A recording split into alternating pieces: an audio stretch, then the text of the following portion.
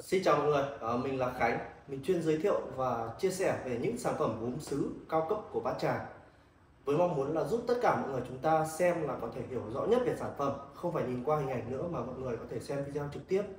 Mọi người có thể tham khảo rất nhiều những cái sản phẩm mình đã làm video chi tiết tại YouTube là kênh gốm sứ Bát Tràng.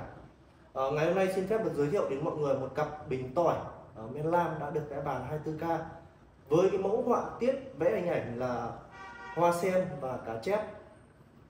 À, đây là một cặp tỏi chân cao một cặp tỏi chân cao thuộc cái dòng là sứ trắng sứ trắng men khử sứ trắng men khử. Họa tiết thì được vẽ thủ công bằng tay và đã được vẽ vàng nhé. À, thì cái hàng sứ trắng này thì sẽ phải làm từ nguyên liệu là đất sét trắng loại xương trong. Cái loại xương này thì à, khi mà chúng ta uh, sử dụng đèn này chúng ta dọi vào cái phần ờ, uh, sứ này. Nó còn xuyên thấu ánh sáng qua. Đây, về mọi người có thể thử. Thì phải đất tinh khiết. Đất tinh khiết nung ở nhiệt độ cao thì mới cho ra được cái loại sứ trắng như thế này. Cái màu trắng mà mọi người nhìn thấy đây là màu của đất nhé khi nung ở nhiệt độ cao nó đã lên thành sứ rồi. Và để tạo ra sản phẩm như mọi người đang nhìn thấy đây thì sản phẩm thứ nhất là phải trải qua hai lần lửa và hai lần vẽ tay. Lần lửa đầu tiên là nung ở 1300 độ C để tạo ra một chiếc bình tỏi men lam với cái họa tiết có màu xanh lam như thế này là 1300 độ C. Và uh, vẽ tay lần đầu rồi nhé vẽ tay lần đầu rồi. Và lần thứ hai là khi mà hoàn thành sản phẩm rồi lại vẽ vàng nước lên bên trên và nung ở 800 độ C nữa thì để cái vàng nó bám chặt ở trên bình như thế này. Như vậy sản phẩm vẽ vàng phải trải qua hai lần vẽ tay và hai lần nung. Vì vậy giá trị thủ công sản phẩm rất là cao. À, cái cặp này thì vẽ hình ảnh là hoa sen kết hợp với cả lý ngư vọng nguyệt. Hoa sen và kết hợp lý ngư vọng nguyệt nhé vẽ tay hoàn toàn thủ công 100% chính vì vậy là cái họa tiết vẽ trên sản phẩm nó sẽ không giống nhau. Nó sẽ chỉ giống nhau khoảng 90% thôi không giống nhau 100% chất xứ thì rất là đẹp. Âm thanh của nó thì cực đanh nhé âm thanh rất là đanh. Mình sẽ đo kích thước của sản phẩm này. Đó, chiều cao là 38 chiều cao là 38 đường kính bụng của sản phẩm là 20 cao 38 bụng 20 nhé à, miệng này là 12 à, với cái bình với kích thước nhỏ như thế này thì chúng ta rất thích hợp để bày trí ở tại những cái uh, kệ tủ chè hoặc là những cái kệ uh, để trang trí chiếc bình giúp cho không gian của chúng ta trở nên uh, đẹp hơn sinh động hơn ở trong căn phòng. Uh, ví dụ như mọi người đang có một cái kệ mà có những cái khoảng trống mà muốn bày những cái sản phẩm uh, bình sứ lên bên trên thì mọi người có thể tham khảo một cái mẫu kích thước này. Là cao 38 bụng là 20 à, giá của một chiếc bình là 2 triệu 800 nghìn đồng. Cái giá là một 2 triệu 800 nghìn đồng cho một chiếc bình. Một cặp này là 5 triệu 6 cái giá này thì nó sẽ có thay đổi nhé. Nó không cố định bởi vì đây là sản phẩm sản xuất thủ công. Ở thời điểm này nó giá của nó là 2 triệu 8 một chiếc. Nhưng mà ví dụ về sau cái giá của nó có thể là sẽ cao hơn. Vì ờ, nguyên liệu và giá thành công vẽ nó lên thì cái giá sản phẩm nó cũng sẽ phải lên theo một cặp bình vẽ hình ảnh là lý ngư vọng nguyệt kết hợp với cả hoa sen. Vẽ tay thủ công 100% nhé.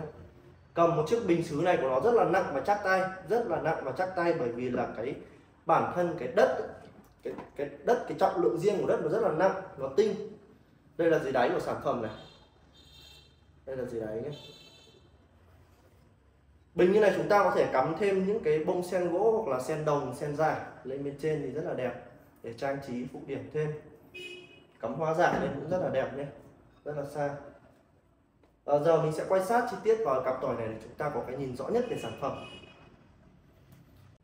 Ok, giờ mình đang quay sát vào từng bình để cho mọi người nhìn thấy nhé. Ở đây là vẽ hình ảnh là cá chép này, một cặp cá chép này, Lý Ngư Vọng Nguyệt Kết hợp với cả hoa sen ở bên trên.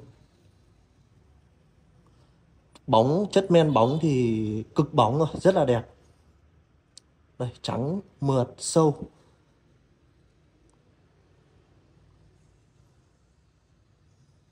Tất cả đều là vẽ thủ công bằng tay hết. Đây cái sứ của nó rất là trắng nhé Đấy, trắng này. Trắng như đá luôn. À, thì mọi người cứ nhìn vào cái nét vẽ cá chép này. Đấy, nhìn vào cái thân thái cá chép này. Khuôn hình hình dáng của cá chép nhé mình sẽ lên chiếc bình tiếp theo nhé đây, chiếc bình thứ hai. Để mọi người có thể so sánh cái họa tiết.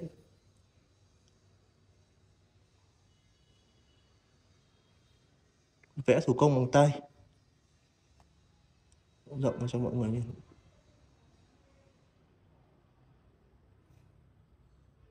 Độ bóng và độ sâu của men thì rất là sâu, rất là bóng trong.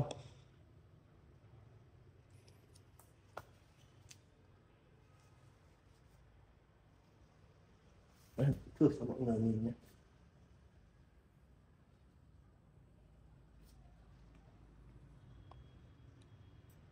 Đèn này công suất nó hơi yếu thành ra là nó soi vào nó nó nó nó cái này nó dày.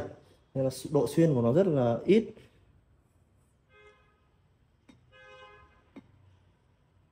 À, như vậy hôm nay mình đã giới thiệu đến mọi người một cặp tỏi chân cao vẽ hình ảnh là lý ngư vọng nguyệt kết hợp với cả hoa sen. Nếu như quan tâm đến sản phẩm mọi người vui lòng gọi điện qua số điện thoại đang được gắn ở bên trên video để được tư vấn chi tiết về sản phẩm và gửi thêm rất nhiều những cái mẫu sản phẩm bình phong thủy khác ở đây chỉ là một trong số rất nhiều các mẫu đang được phân phối bởi thương hiệu gốm sứ bát tràng.info và khi xem xong video này, nếu như thấy video của mình hay và ý nghĩa, thì rất mong mọi người đăng ký ủng hộ kênh và chia sẻ rộng rãi để nhiều người có thể biết đến những cái sản phẩm gốm sứ bát tràng của Việt Nam. Cảm ơn mọi người đã xem hết video này. Xin chào!